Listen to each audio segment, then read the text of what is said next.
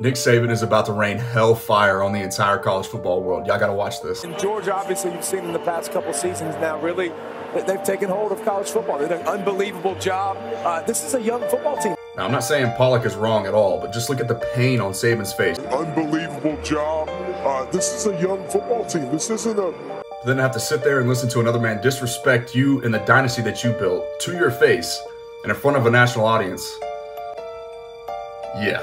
And I actually got chills when I watched that for the first time because you could just see how hurt Nick Saban was by that single sentence. I mean, we're talking about the greatest college football coach to ever live, and a man that's dedicated his entire life to dominating a single industry in a way that we probably won't ever see replicated again. And then just when we start to think that Alabama might actually be mortal after all, one small statement like that gives Saban his final infinity stone.